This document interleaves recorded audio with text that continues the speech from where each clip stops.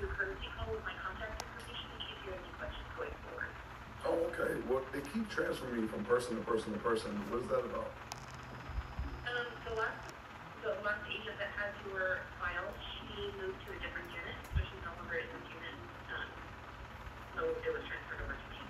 Oh, okay. So I'm going anywhere, so Okay, cool. it should, it should stay with me.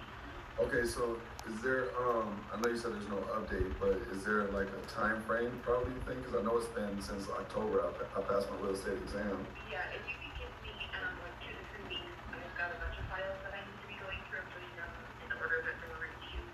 Um, so probably at the end of two to three weeks, I'll have more of an update for you. Okay. All right, well, thank you. Appreciate it. You're So that's the update with the Department of Real Estate. What's been going on with me? So, yeah, remember she said it was only six, six weeks to six months. Excuse me, I passed the real estate exam in October and they said another two, three weeks. Yeah, so that's the update. Today, we are taking a road trip and we are driving over 2,000